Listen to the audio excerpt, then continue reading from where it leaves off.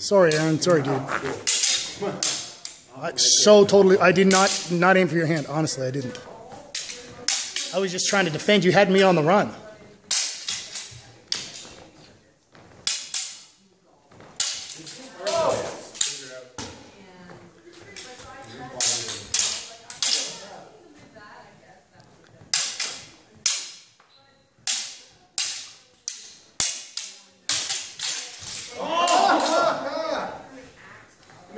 Brian, you're not using your sword and dagger enough together. that. No kidding. I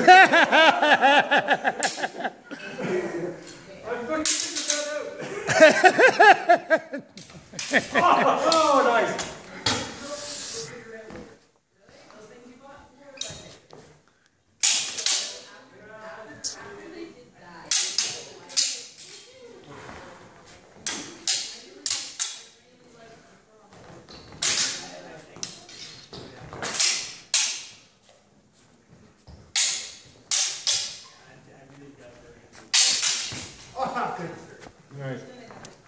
Oh, time.